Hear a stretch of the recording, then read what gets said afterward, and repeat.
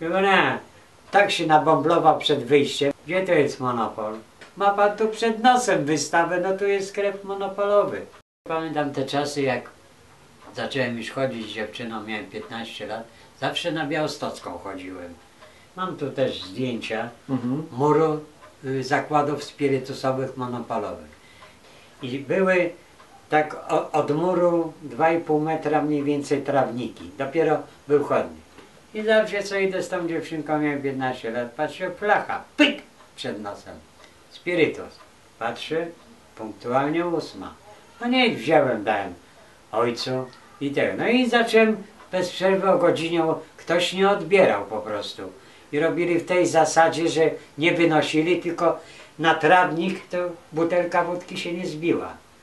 No i było kiedyś takie zdarzenie, też to w gazecie było, że po prostu hydraulicy, a obok zakładów spirytusowych, tam gdzie jest przedszkole, mam tu zdjęcia swoje robione, żeby se robili, jest budynek monopolu, gdzie były zakładowe jako mieszkania. Hydraulicy byli nawiani, źle coś zmieniali rury, nie wiem czy specjalnie czy tego i dosłownie przez jakieś 15 minut gołda czy spirytus w kranach leciała.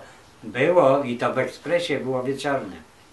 Babka jedna kiedyś wpadła, bo była taka zasada w spirytusowych, jak ktoś robił, mi opowiadali, to aby przed wejściem flachę walnąć, bo można było na zakładzie i szybko, abyś 5 minut przed wejściem przez potiernie jeszcze trzeźwy przeszedł.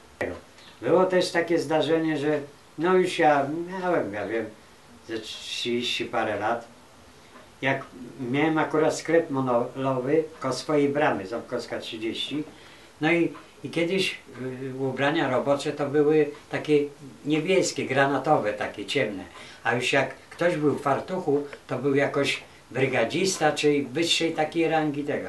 No i pan się stoi w takim fartuchu właśnie, tak jak brygadzista tym roboczym przed, przed sklepem monopolowym.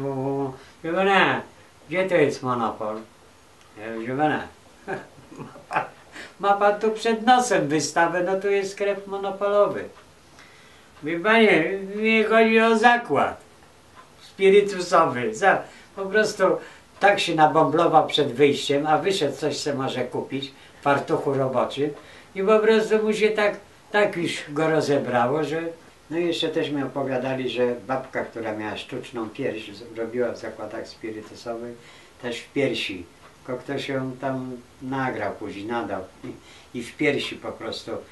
Miała trójeczkę, no ale po trochu ten spirytus se miała sztuczną, tą plastikową se tak już jej zrobili jakoś tego, że se wlewała i wynosiła to. Później ją tak po, złapali ją później, tam po dwóch, trzech latach to tak podliczyli ją, od kiedy zaczęła pracować, tak tyle tego.